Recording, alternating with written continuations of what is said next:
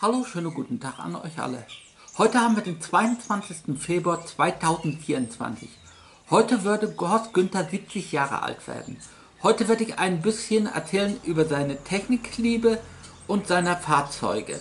Vier Fahrzeuge werde ich besonders vorheben, die er besonders gerne gehabt hatte. Welche Technikvorlieben hatte der Günther?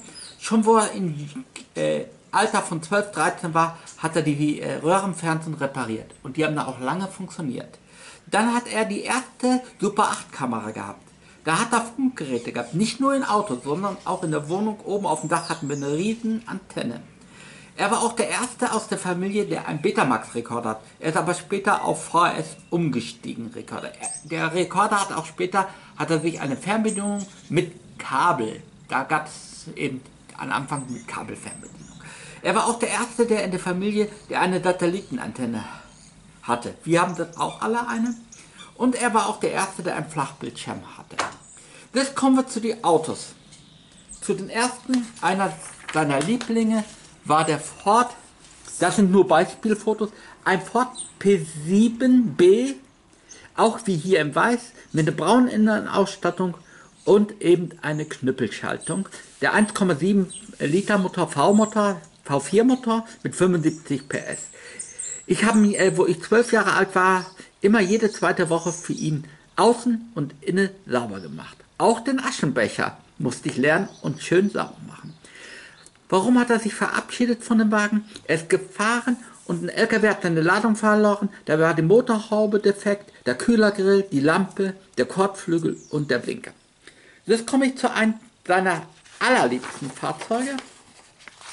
Das ist ein Mercedes-8 circa Baujahr 68 hatte er, das ist nur Beispielfoto, auch eben, er war aber ein 230 250er mit 6 Zylinder, Automatik.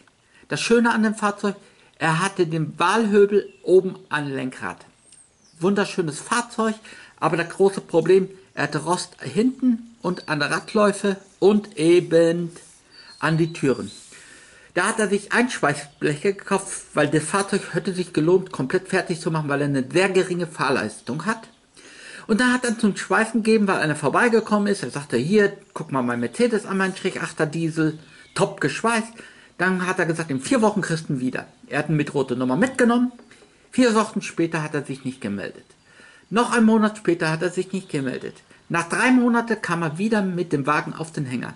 Er hat den kompletten Kabelbaum durchschmoren lassen beim Schweißen, hat die Teile eingeschweißt, aber so unfachmännisch habe ich noch nie gesehen. Da konnte man die Finger in den Radläufen, wo er geschweißt hat, reingemacht. Die Kiste war total hinüber, also unfachmännischer geht nicht. Wie gesagt, Günther war traurig, aber hat nicht viel Aufstand gemacht, aber so einen hat er nie wieder an ein Auto gelassen. Dann kam er, ein paar Jahre lang ist er vorbeigefahren, ein Jahr circa, da stand ein Neuwagen, ein Opel Ascona C 1,6 Liter in der J-Ausstattung. Im Weiß mit rotbraune Sitze Neuwagen. Den hat er dann gekauft. Der Vater hat gesagt, ja, den kriegst du dann, weil er ihn unbedingt haben wollte. Aber nach einem halben Jahr hat er gemerkt, er hat überall geblüht, also Rost. Und dann ist er hingekommen und hat den dann bei verschiedenen Händlern angeboten. Und dann hat er den Wagen im Schaufenster gesehen. Ein VW Passat B32. Da war 1983 auch ein Neuwagen ein Fließheck, Viertürer, aber nicht wie hier in die GL-Ausstattung, sondern in die CL-Ausstattung, aber mit Schübedach. Und dann hat er mir nachher umrüsten lassen, weil er ein Autoliebhaber war, ein Vier-Speichen-Lenkrad von wie zum Beispiel in Golf GTI 1 und Golf GTI 2 drin war da vier, da hat mit die kleinen vier Hupen. Und nachträglich wurde auch eine große GL-Mittelkonsole eingebaut. Dann hat er einen Ford Capri 2 wie hier im Bild ist, in Gelbton mit ein gelbes, also ein braunes Vinyldach mit einer braunen Innenausstattung. Da war dann der Vierzylinder-Reihenmotor mit 88 PS. Ihn hat er nicht ganz so gut gefallen. Ich habe ihn gefahren und mir hat er gut gefallen wegen die lange Front. Und er war auch schöne Herausforderung. Der fahren wegen hinten Blattfedern, vorne McPherson. Mir hat er sehr gut gefallen. Und dann kam äh, Günther sein absolut mit Traumauto, einer von den Tieren. Ein Audi 100 Typ 44, das war circa Baujahr 83, Und dann hat er den bekommen in Gold Metallic, helles Gold Metallic. 5 Zylinder, Einspritzer, 136 PS, Automatik. In der CD-Ausstattung, da war eine Luxusausstattung, es gab eine zweite Luxusausstattung, die CS, da war dann die sportliche Ausstattung. Das war ja die Luxusausstattung mit die Lur-Sitze, der hätte mir auch sehr gefallen. Aber der hat immer dann Probleme gemacht mit die Druckspeicher. Und danach kam der gleiche Fahrzeug, aber in Silbermetallic. Auch wieder ein CD, ein, zwei, äh, ein 5-Zylinder E mit 136 PS Automatik. Den hat er dann auch gefahren. Dann hat er eine kurze Zeit, hier ist nur ein Beispielfoto, wie die anderen auch, ein Opel Rekord E 1,9 Liter, 75 PS, aber ein, eben ein Zweitürer und eben mit die Blechstoßstangen. Die Kiste war schon, wie man heute dumm sagt, Fritte also hinüber. Richtig. Dann hat er einen Opel Rekord, hier ein Beispielfoto, dem Vorgänger, ein Baujahr 79 bekommen, in hellblau mit äh, zwei Türen und der hat ihm nicht sehr gut gefallen. Nach kurzer Zeit hat er ihn abgezogen, den Caravan. Da hat er wieder einen Opel Rekord E. Das war aber dann auch wieder ein 79er Baujahr, aber Limousine. Der Vorgänger, hier sehen wir den mit Plastik, da war der noch mit die Blechstoßstangen, mit die Chromstoßstangen. Und das war ein äh, Zweitürer, nee, der von Viertürer in, mit einem schwarzen Dach, kein Vinyldach. Und der war ziemlich, der Farbton runtergekommen. Dann haben wir ihn in Blau gerollt mit der Farbrolle, sah nicht mal schlecht aus.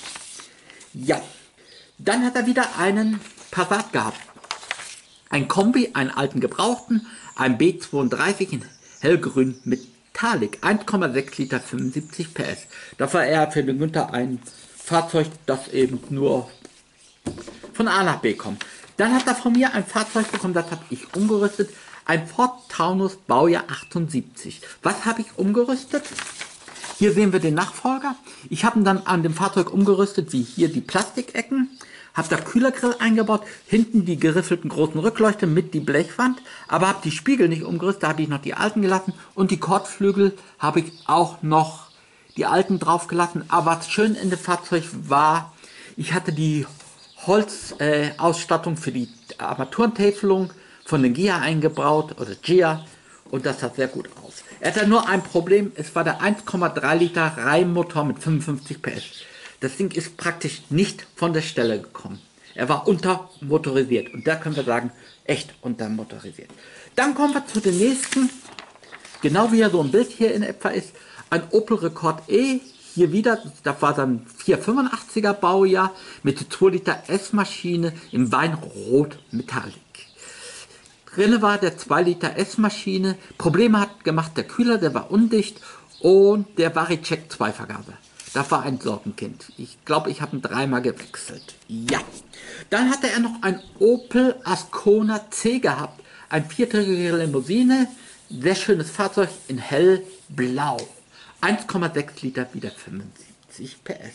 Jetzt kommen wir zu einem, sein, sein allerletztes Fahrzeug, das er selber gefahren hat. Später wurde er ja da von uns gefahren. Das ist ein Aro, ein rumänisches Fahrzeug in der Größe von etwa ein Suzuki. Er war sehr zufrieden. Es war hier Renault-Triebwerk drin, aber er hat ihm viel Spaß gemacht, weil der Fahrzeug war sehr geländegängig. Ja, aber das kommen wir nochmal zum 70. Geburtstag. Das gedenken wir alle nochmal an Horst.